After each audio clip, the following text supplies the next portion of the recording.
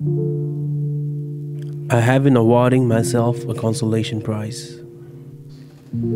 For every midnight of mystery that dances around my open eyes,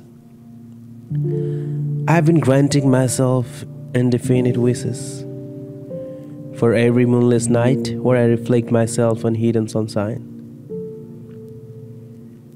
I have been here and there, out of spaces, along the endless path, until my heartbeat lost, and I wake up again and again, regain and rearrange my receptors that resent these rarities, ripples resuming recurring insanity, and I ask myself again, what are these compliments for? Is that how to treat my misconceptions? Wallowing in nostalgia, swallowing the egoistic chains, I rise to praise my existence.